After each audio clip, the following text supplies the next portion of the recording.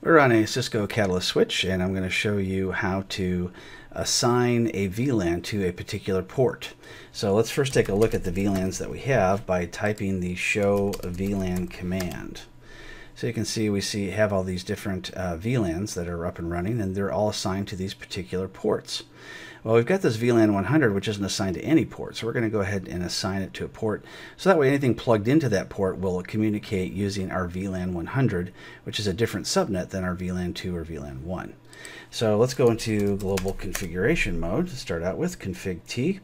And let's type in the name of the interface that we want to assign. So just type INT, short for interface.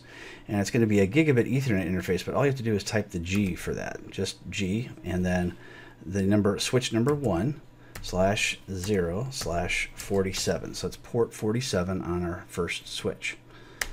So uh, now I have my config if command, so I can go ahead and uh, type in uh, what I want on here as far as the VLAN goes.